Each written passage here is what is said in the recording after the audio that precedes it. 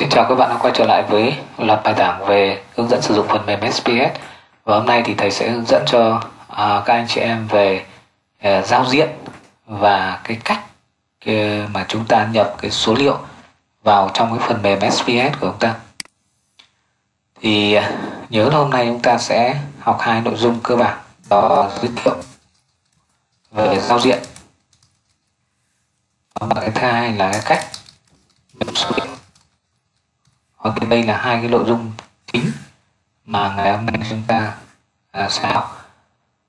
Thì à, đầu tiên để mở phần mềm SPS ấy, thì sau khi các em cài được giống như bài trước thầy dạy thì các em sẽ kích vào cái biểu tượng là SPS 26 đấy chúng ta sẽ làm việc trên phiên bản 26 chúng ta kích vào đây kích nút vào đây. Đó thì giao diện nó sẽ đầu nút thì nó sẽ khởi động cái phần mềm SPS của chúng ta lên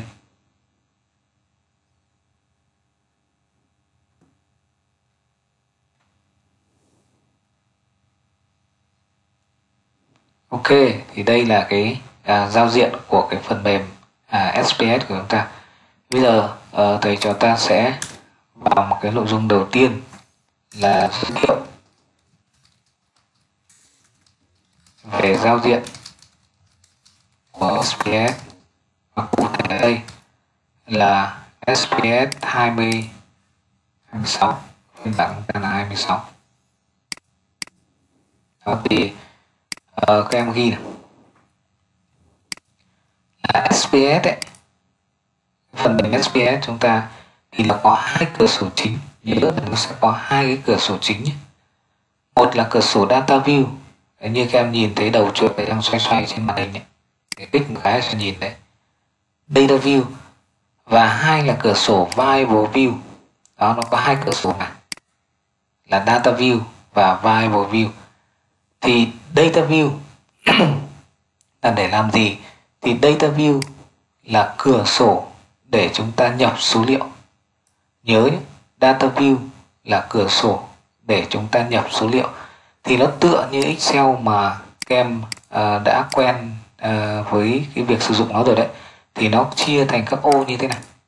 À, các em nhớ là những cái ô này là để mình nhập cái số liệu vào và có một cái điều rất lưu ý này, là cái cửa sổ data view ấy, thì mỗi một biến hay là mỗi một cột số liệu đi mình hiểu thế cho dễ thì nó được quản lý bởi một cột. Mỗi một cái cột này này là ta sẽ nhập một cái biến. Nó giống y như excel của chúng ta như bình thường. Hãy nhớ bây giờ tôi nhắc lại là cửa sổ ở à, trong SPS thì nó có hai cửa sổ. Một là cửa sổ data view và hai là cửa sổ variable view. Thì cửa sổ data view là để nhập số liệu vào. Em có nhớ là cái cửa sổ này là để nhập số vào. Tí nữa thầy cho ta học sẽ biết. Thì trong cái cửa sổ data view này là mỗi một biến nó sẽ được quản lý ở một cột.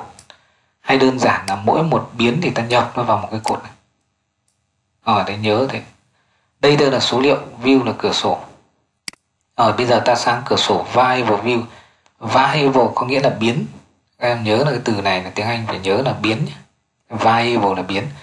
View là cửa sổ tức là cửa sổ để quản lý thông tin về biến. Nhớ là cái cửa sổ này là nó để quản lý thông tin về biến. Và trong cái cửa sổ này thì nó khác với cái cửa sổ. Uh, data view một chút đó là mỗi một biến hay là mỗi một cột thì lại được quản lý ở một dòng em nhớ là mỗi một biến hay là mỗi một cột thì lại được quản lý ở một dòng như thế này. Đấy các em phải thật nhớ để nhớ là bên cửa sổ nhập số liệu này. Data view là nhập số liệu. Thì mỗi một biến nằm ở một cột thế này. Nhưng mà bên cửa sổ ở thông tin về biến ấy, tí nữa thầy sẽ giải thích cho hiểu thế nào là thông tin về biến thì mỗi một biến lại nằm ở một cột thế này à thầy sai một à, hàng thế này nhớ nhé mỗi một biến lại nằm một hàng. Đấy thế thôi. Thì đơn giản là giao diện của nó gồm như vậy. Thì bây giờ thầy sẽ dạy các em sang đến cái à, nội dung thứ hai là cái cách nhập số liệu vào. Và chúng ta sẽ làm quen nhiều hơn với hai cái cửa sổ này. Thì bây giờ à, chúng ta sẽ thầy sẽ chỉ các em cái cách nhập số liệu vào SPS. thì để nhập số liệu vào SPS ấy, thì chúng ta làm như sau. Để nhập số liệu vào SPS thì chúng ta làm như sau. Đầu tiên chúng ta kích chuột vào cái cửa sổ Variable View này. Chúng ta kích chuột vào cửa sổ Variable View. Để chúng ta điều khiển cái thông tin của biến. Variable View này, để chúng ta điều khiển cái thông tin về biến. Các em hiểu luôn ra là thông tin về biến có nghĩa là thông tin về cái cột đấy, hay là mỗi nếu mà lấy ví dụ như mỗi biến là một con người, thì chúng ta điều chỉnh cái thông tin về cái con người đấy. Ví dụ, cái người đấy tên là gì này? Người đấy là con trai hay con gái? Rồi là người đấy quê quán ở đâu, vân vân. Tức là mình điền cái trích ngang cho cái cái biến đấy, tức là trích ngang cho cái người đấy thì ở đây thầy sẽ dạy cho các em gì? Cho các em mấy cái mục cơ bản này trước đã nhé. Nhớ là các em sẽ sẽ học những thằng cơ bản trước. Thì name name em ghi name tức là tên của cái biến hay là tên của cái cột ấy. nhớ là name này này là mình đặt tên của cái biến hay là tên của cái cột. Rồi bây giờ các em sẽ mở cái file excel uh, mà số liệu thực hành ra mà cái app uh, lên mạng mà các em tải về đấy chúng ta sẽ làm quen với số liệu lâm nghiệp trước. Nó sẽ có bốn cái exit như này là số liệu lâm nghiệp nông nghiệp môi trường và xã hội kinh tế. Thì chúng ta học về chúng ta thử với số liệu lâm nghiệp trước nhé. Thì thầy cho ta sẽ đi nhập khoảng 10 cái số liệu đầu này. Đó. Được chưa? Vậy thì bây giờ thầy sẽ dạy cái cách nhập cái số liệu đường kính này vào trước nhé. Thì đầu tiên ta phải đặt tên của cái cột đấy là đường kính. Thì các em muốn đặt tên nó, các em kích đúp vào trong. Các em gõ chữ đường kính và không gì, không viết hoa. À thầy sai, không viết chữ có dấu và đặc biệt là không có dấu cách nhớ là tên của biến, tức là tên của cái cột đó, thì không được có dấu cách này, không được có ký tự đặc biệt, ví dụ như là cộng trừ nhân chia sao thăng vân vân là không được. Và muốn cách thì các em phải ấn phím shift trừ tức là phím shift là phím trừ ở trên bàn phím chúng ta để nó ra gạch dưới như thế này. Nhớ là ấn phím shift và phím trừ.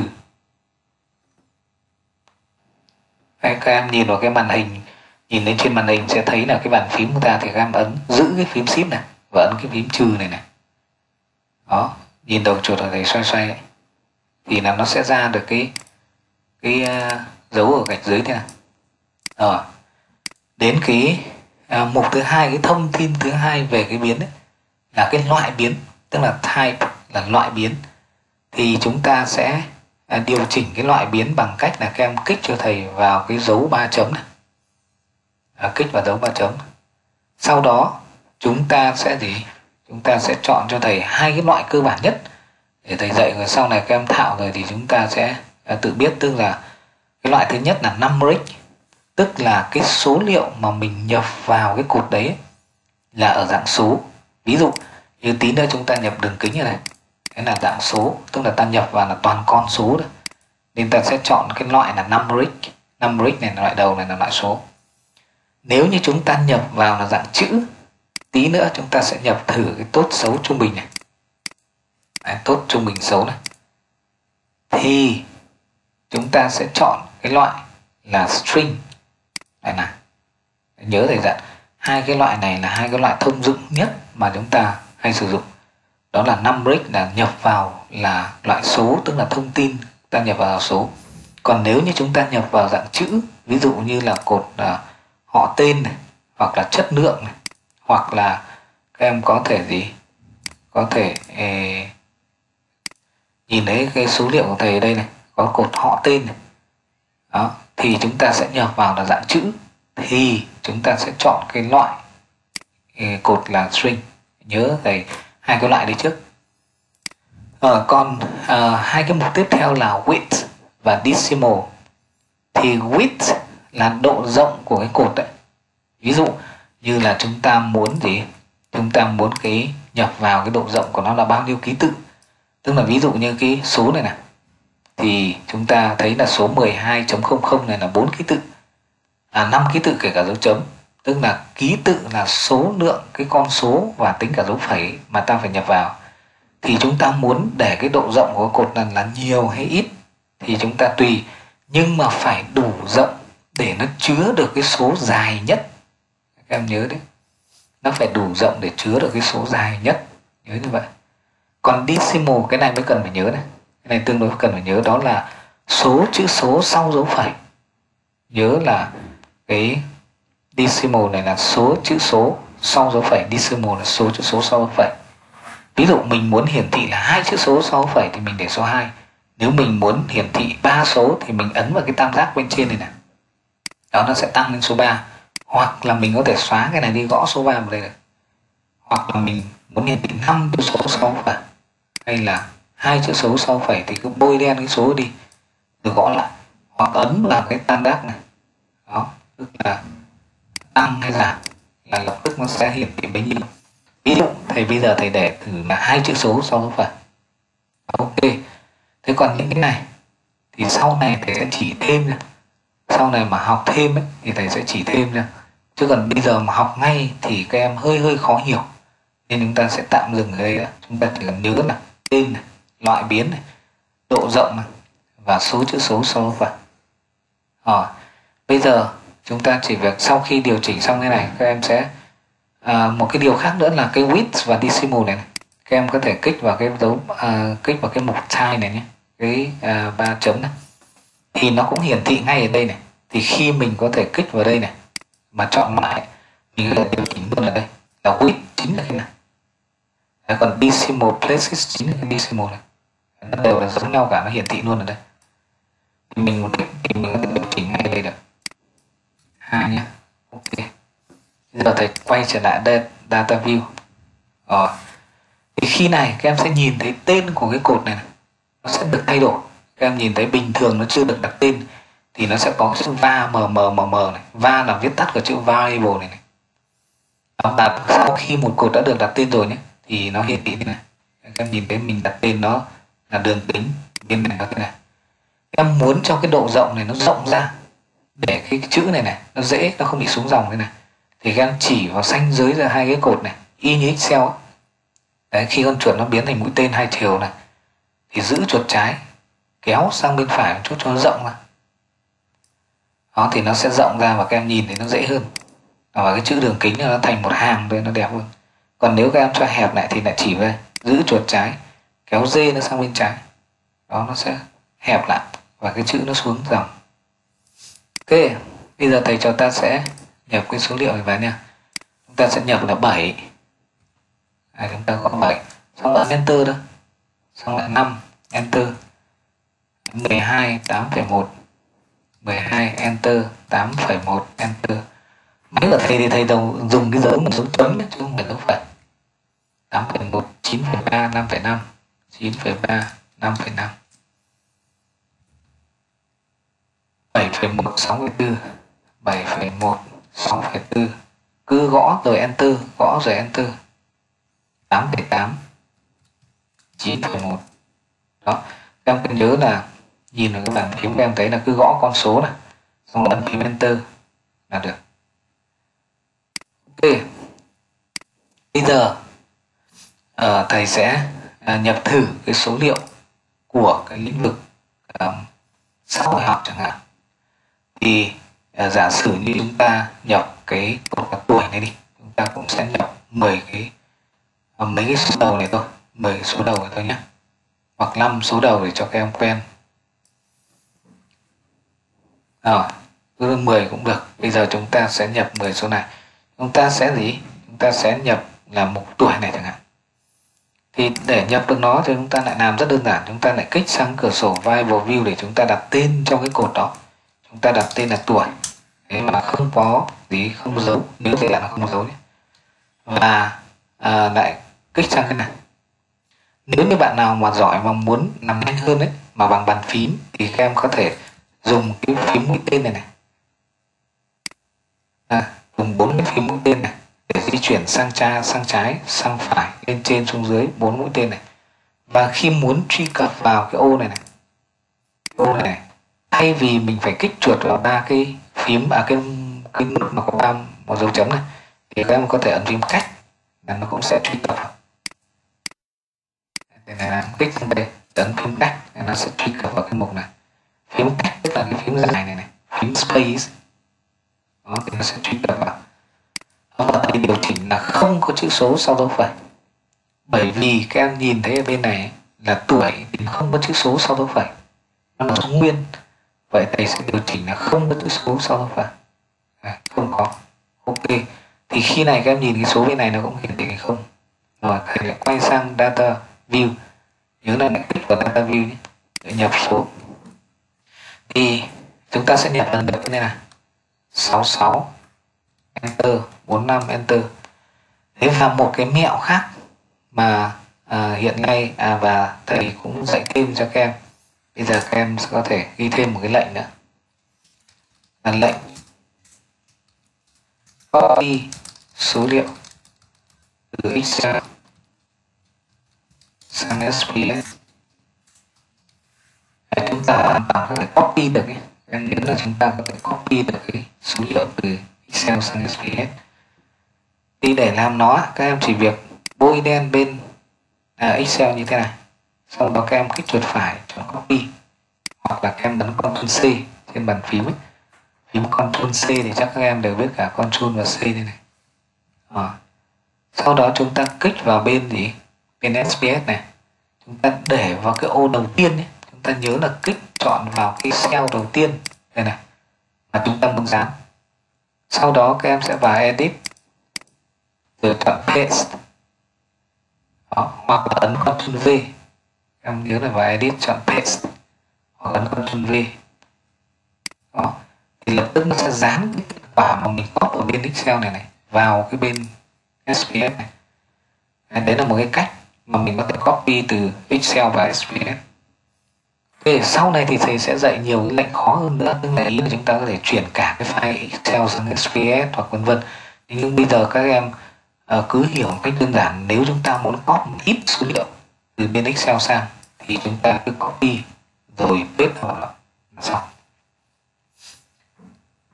Đó. Ok thế thì hoặc là các số liệu bên uh, nông nghiệp các em cũng có thể nhập cái lượng mưa hoặc cái nồng độ PA2O5 này chẳng hạn đấy.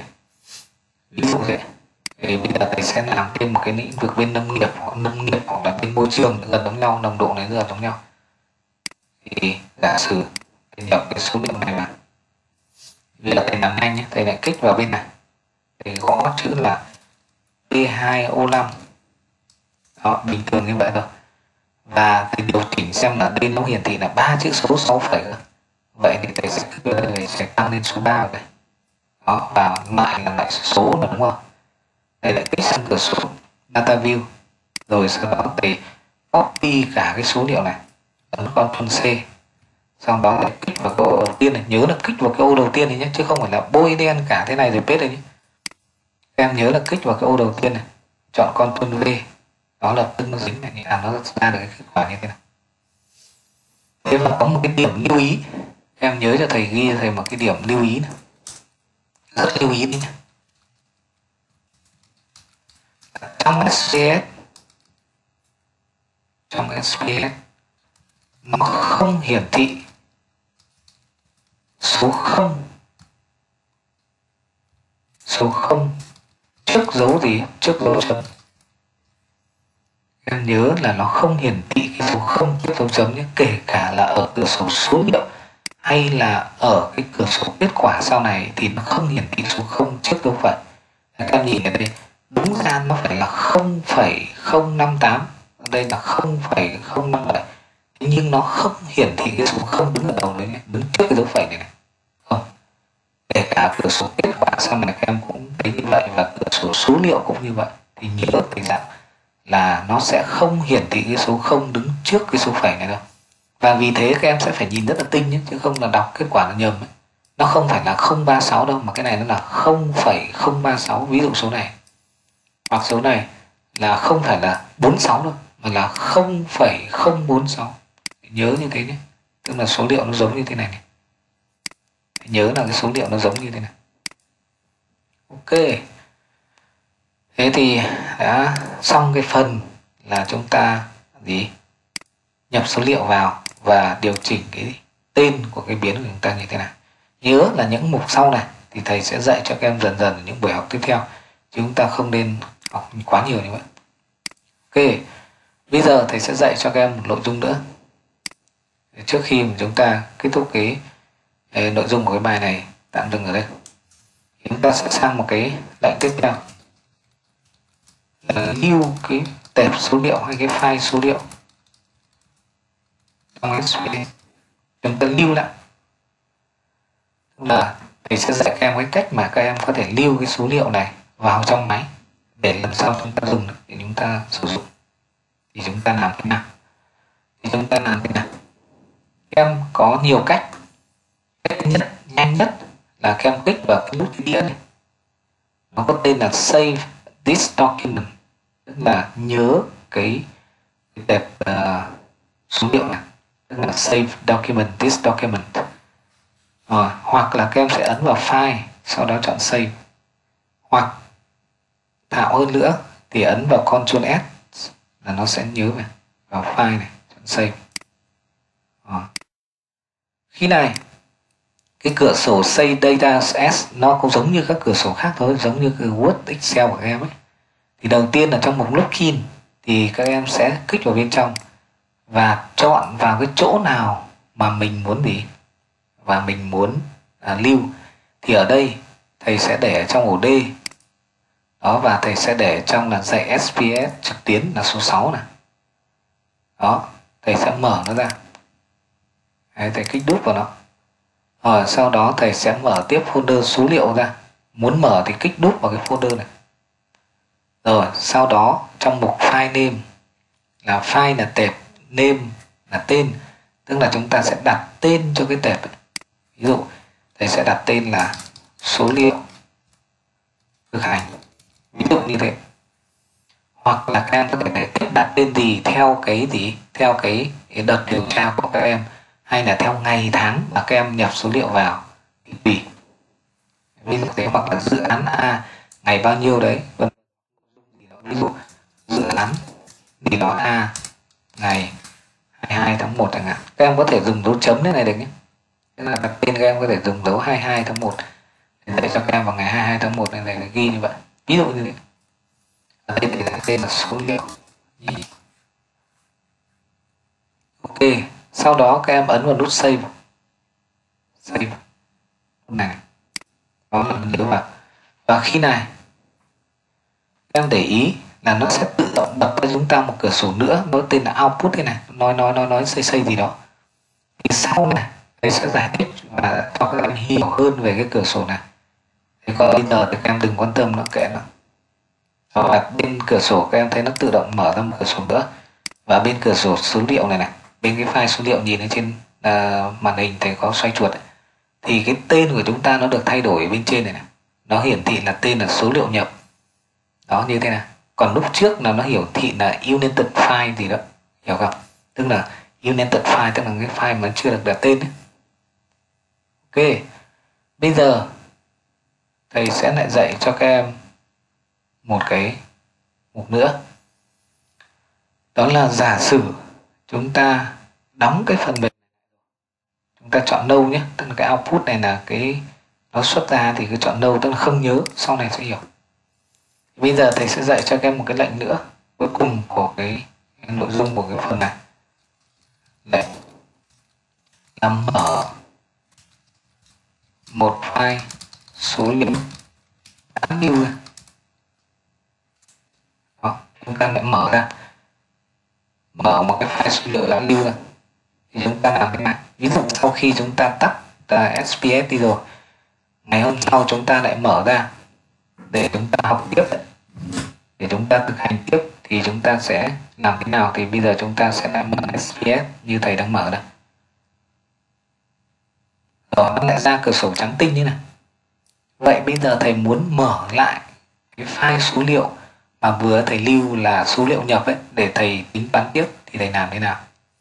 Thì các em ghi, chúng ta làm như sau. Cách thứ nhất là chúng ta đơn giản nhất là ấn vào cái nút open này em sẽ nhìn thấy nó có cái nút tên là open data document đó, kích vào đây. Là dễ nhất nhé.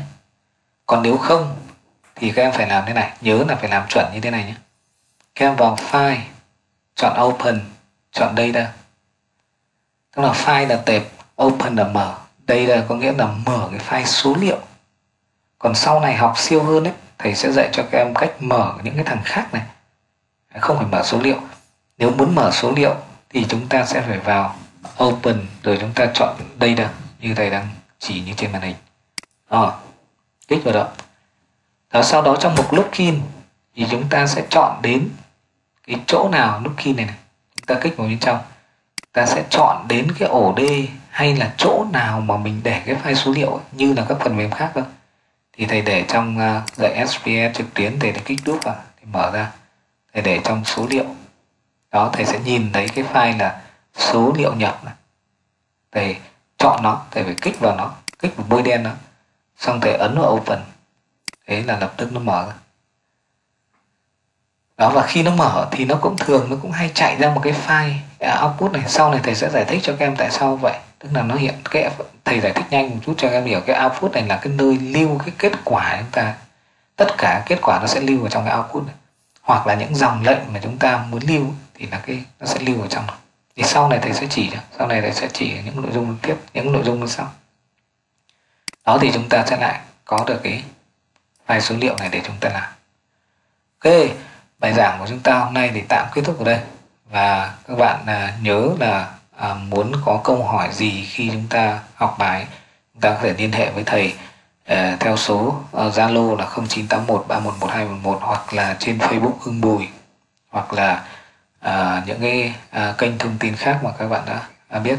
Xin chào và hẹn gặp lại vào bài tiếp theo.